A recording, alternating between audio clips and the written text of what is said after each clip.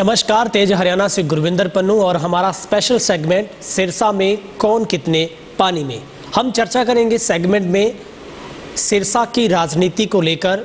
हम चेक करेंगे हमारे राजनीतिक विश्लेषक के माध्यम से पब्लिक थर्मामीटर जिससे हम ज्ञात करेंगे कि आखिर सिरसा की राजनीतिक परिस्थितियाँ कैसी है और यहाँ पर पाँचों विधानसभा की सीटों पर कौन कितने पानी में है। सबसे पहले मैं आपको बता दूँ सिरसा में इस बार हमारे पूरे ज़िले में नौ लाख चौवालीस हज़ार तीन सौ अट्ठाईस मतदाता मैदान में पाँचों विधानसभाओं के कुल छियासठ उम्मीदवारों के भाग्य का फैसला करेंगे। मगर इससे पहले मैं पाँचों सीटों का आपको पूरा वहाँ के मतदाता बताऊँ और वहाँ से कितने कैंडिडेट हैं।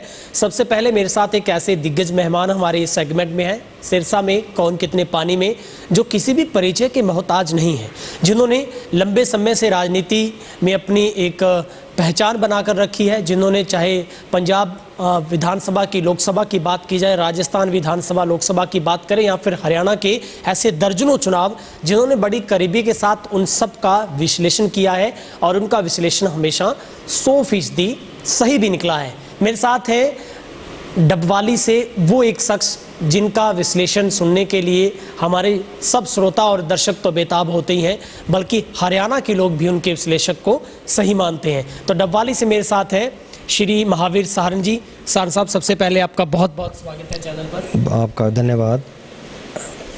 तो ये हमारे साथ हम लगातार इनसे चर्चा करेंगे कि आखिर सिरसा का इस बार सनेरियो क्या कह रहा है विधानसभा चुनाव को लेकर। मगर बड़ी बात तो ये है कि जब लोकसभा के चुनाव अभी कुछ ही महीने हुए हैं तो जहाँ पर सिरसा के इतिहास में ऐसा पहली बार बीजेपी ने किया, जहाँ पर टोटल ओवरऑल एक लाख तीस हज़ार की जो बढ़त यहाँ पर बीजेपी के कैंडिडेट को लोकसभा में सुनीता दुग्गल को मिली थी।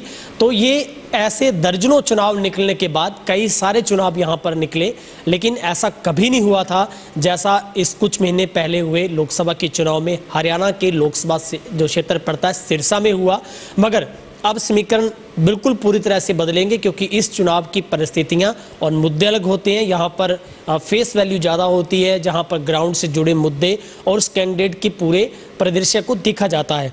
मगर हम सिरसा के पाँचों सीटों पर हम पाँचों सीटों का लेखा जोखा आपके सामने रखेंगे हमारे विश्लेषक के माध्यम से और जानेंगे वहाँ की राजनीतिक स्थितियाँ और परिस्थितियाँ कैसी हैं और कौन कैंडिडेट कितने पानी में और कैसा है। सबसे पहले सिरसा की बात करें तो सिरसा में कुल इस बार दो लाख सात हज़ार मतदाता हैं और यहाँ से कुल 18 जो प्रत्याशी उम्मीदवार हैं वो मैदान में है। दूसरे नंबर पर आता है डबवाली, जहाँ पर दूसरे नंबर पर अगर जनसंख्या की बात करें वोटर के हिसाब से तो यहाँ पर एक लाख निन्यानवे हज़ार मतदाता हैं और कुल ग्यारह जहाँ पर उम्मीदवार मैदान में अपने भाग्य का फैसला इन वोटर के माध्यम से कर रहे हैं। और फिर बारी आती है एलाहाबाद की, जहाँ पर लगभग एक लाख अस्सी हज़ार मतदाता हैं और यहाँ पर तेरह कैंडिडेट मैदान में है।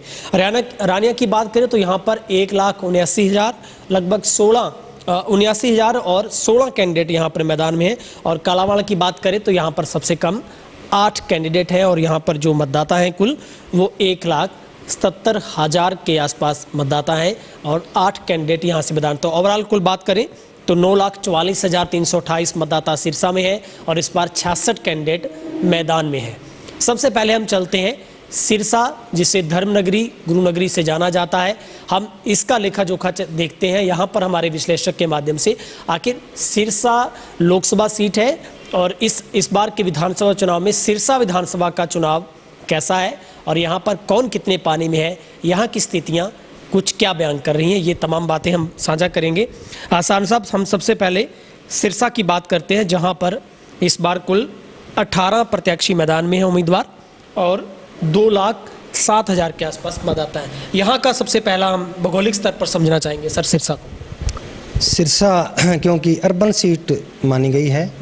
परिसीमन के बाद में उसमें कुछ बदलाव हुए थे कि उनका जो ग्रामीण जो इलाका था वो थोड़ा जाट बाहुल्य जड़बा कॉन्स्टिट्यूंसी के जो गाँव को उसमें शामिल कर लिया गया था। सतहत्तर में जनता पार्टी में यहाँ प्रत्याशी विजयी हुआ। उसके बाद में सतासी में हज़ार चंद कम्बोज लोकदल के या चौधरी देवीलाल चौटाला परिवार से विजयी हुए थे। उसके बाद में पिछले चुनाव में इनेलो के मक्खन सिंगला रणनीतिक रूप से उन्होंने प्रत्याशी उतारा था और वो विजयी हुए थे। और हैरानीजनक बात आप ये है कि इनेलो जो सतासी के बाद में, इतने सालों के बाद में पहली बार सिरसा में अपना प्रत्याशी जिता पाई, अब की बार उन्होंने अपना प्रत्याशी ही नहीं उतारा। इससे आप अंदाज़ा लगा सकते हैं कि परिस्थितियों में कितना बदलाव आया है। अब हालात इस चुनाव में लोकसभा के मुकाबले विधानसभा में मैं बहुत अंतर मानता हूँ। ये जो चुनाव अब लड़ा जा रहा है, वो मुख्यतः हलोपा या आज़ाद कुछ कहिए गोपाल कांडा और इंडियन नेशनल लोकदल ने समर्थन दिया है और लक्ष्मणदास अरोड़ा के दोते हैं और लक्ष्मीदास अरोड़ा यहाँ पे चार पाँच बार विधायक रहे हैं, जिसमें कई बार उन्होंने आज़ाद प्रत्याशी के रूप में भी जीत दर्ज की थी। यहाँ के दबंग विधायक माने जाते रहे हैं। उनका दोते गोकुल सेतिया में और उसके बाद में बीजेपी के प्रदीप रातुसरिया मैदान में है। मुख्यतः लड़ाई इन तीनों में मानी जा रही है। कांग्रेस के उशारीलाल शर्मा जो है, वो पिछले जो इनके प्रत्याशी थे, उनसे तो काफ़ी उनमें फ़र्क है, लेकिन फिर भी मुख्य मुकाबले से मैं उनको नहीं मानता।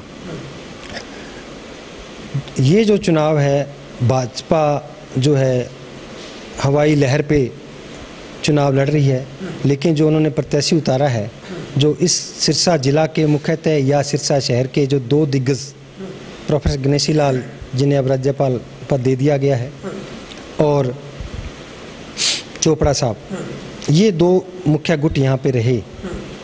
इन दोनों के जो परिवार से जो प्रत्याशी बनना चाहते थे, उन्हें दरकिनार करके बीजेपी ने एक नया चेहरा, प्रदीप रातुसरिया, जो जिन पे संघ की मोहर लगी हुई है, को उतारा है। इनका प्रभाव, चूँकि सत्ता के जो पाँच साल, जिन्होंने मलाई खाई उन लोगों को मुकाबले से, टिकट के मुकाबले से बाहर कर दिया गया। और अब प्रदीप रातुसरिया चूँकि नए घर से निकाल कर ला के चुनाव मैदान में उतार दिया गया है, इसलिए मुख्य लड़ाई में आने के लिए प्रदीप रातुसरिया संघर्ष कर रही हैं। गोपाल कांडा एक बार जीत गए थे, पिछला चुनाव थोड़े वोटों से हारे, जीते तो गृह राज्य मंत्री जैसा उनको पद मिला, पब्लिक से उनका अच्छा खासा एक धार्मिक संस्था से जुड़े होने की वजह से उनका रसूख रहा है। बावजूद इसके अब की बार वो जो है मुख्य मुकाबले में बने हुए हैं। लेकिन उनकी चार साल की जो गैर हाजिरी उनका खमियाजा उनको भुगतना पड़ रहा है।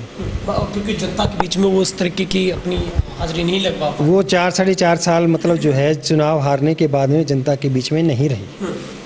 लेकिन फिर भी उनका पूरा एक नेटवर्क है शहर के अंदर। हर कास्ट, हर वर्ग में उनका एक विशेष तौर पे जो जनाधार वाले जो कार्यकर्ता हैं, वो उनके साथ जुड़े हुए हैं। इसलिए वो मुख्य मुकाबले के अंदर है। दूसरा, गोकुल सेतिया पंजाबी बिरादरी को रिप्रेजेंट करते हैं। अभी वो भाजपा के अंदर ही थे।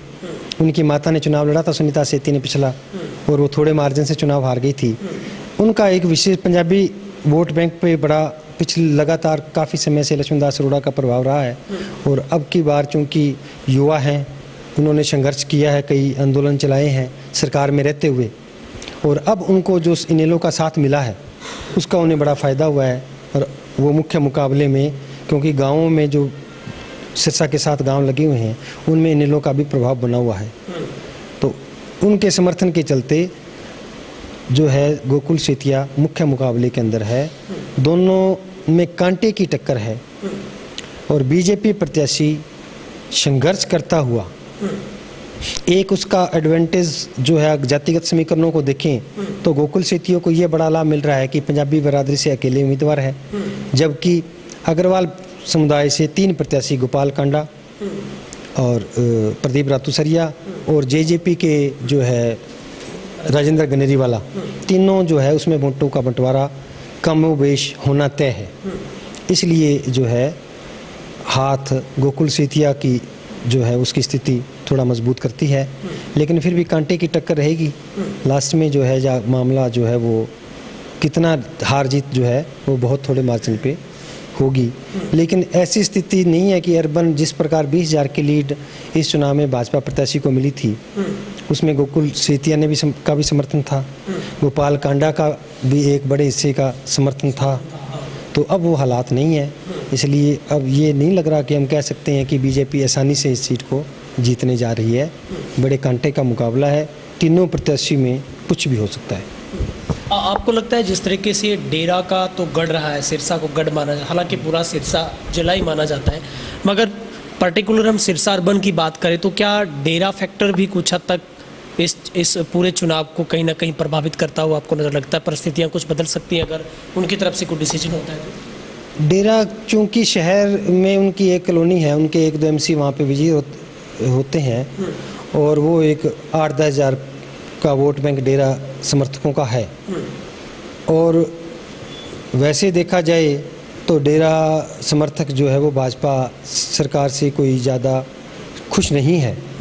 लेकिन उनकी तरफ़ से क्या मैसेज आता है और वो मैसेज अब कितना प्रभावी रहता है? ये भी हालाँकि पिछले चुनाव में इन्होंने एक मुस्त जो है बीजेपी का समर्थन किया था। इसमें कोई दो राय नहीं है। लेकिन अब जो अभी तक जो परिस्थितियाँ साफ़ नहीं हुई हैं और कुछ में कुछ डेरा का फॉलोअर्स बिखरे भी हैं। इतना प्रभावशाली डेरा का वोट नहीं रहा है और वैसे भी जो सिरसा के अंदर जो डेरा में से जो ज़्यादा फॉलोअर्स हैं, वो पंजाबी बिरादरी से जो है वो संबंधित ज़्यादा हैं और वो उस पर गोकुल सेतिया के वो वैसे ही समर्थन कर रहे हैं। तो भाजपा का समर्थन देने का नहीं लगता कि वो शायद करेंगे। तो आपको लगता है कि जो सिरसा की जो परिस्थितियाँ हैं वहाँ पर एच एल पी और कहीं ना कहीं जो गोकुल सेतिया और तीसरे नंबर पर जहाँ पर बीजेपी अभी तक संघर्ष करती हुई नज़र आ रही है तो आपको लगता है कि मुख्य मुकाबला है जो एक एचएलपी या फिर सेतिया जो साथ में उनका अलायंस जो आई के साथ है तो कहीं ना कहीं दोनों के बीच में परिस्थितियाँ कुछ लगती हैं आपको? हाँ धीरे धीरे दोनों के बीच में सिमट रहा है। हालाँकि 19 तारीख को भी कार्यक्रम प्रधानमंत्री जी का बना है उससे बीजेपी सोचती है उन्होंने भी रखवाया है कि हमें इसका कुछ लाभ मिल जाए कि उनके दौरे का। वो अलग बात है कितना उससे फ़र्क पड़ेगा वो देखने वाली बात होगी। लेकिन फ़िलहाल जो बीजेपी का प्रत्याशी मुख्य मुकाबले में आने के लिए संघर्ष कर रहा है। अभी मुख्य मुकाबला सेतिया और कांडा के बीच में ही माना जा रहा है। तो ये ये हमने सिरसा का आपको परिस्थितियों से वाकिफ कराया कि सिरसा में कौन कितने पानी में, क्योंकि यहाँ पर इस बार एचएलपी और कहीं ना कहीं जिस तरीके से गोकुल सेतिया को इस बार बीजेपी से उन्होंने बगावत की और उसके बाद उन्होंने आई के साथ समझौता करके एक इंडिपेंडेंट चुनाव लड़ने का जो फैसला किया है।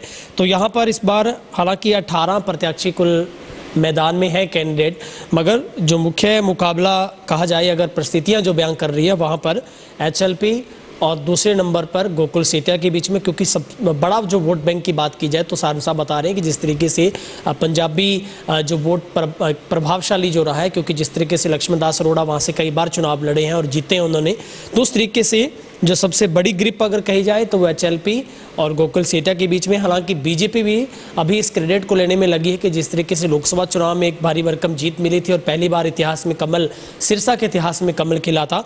तो कहीं ना कहीं इस प्रयास में अभी तक ये कह पाना थोड़ा मुश्किल है कि बीजेपी की इस मोदी साहब की रैली के बाद की क्या बात समीकरण बनते हैं। मगर स्थिति यहाँ की और परिस्थितियाँ ये कह रही है कि जहाँ पर मुकाबला थोड़ा टफ है, मगर टक्कर सिर्फ़ सीधे तौर पर यहाँ पर एचएलपी और सेतिया के बीच में है।